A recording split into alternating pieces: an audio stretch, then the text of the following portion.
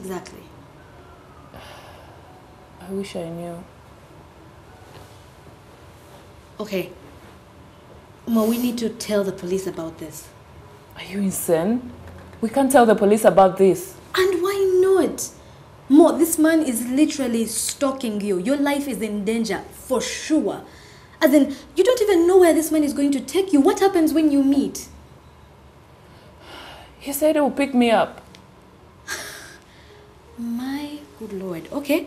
And then what happens? And takes you where?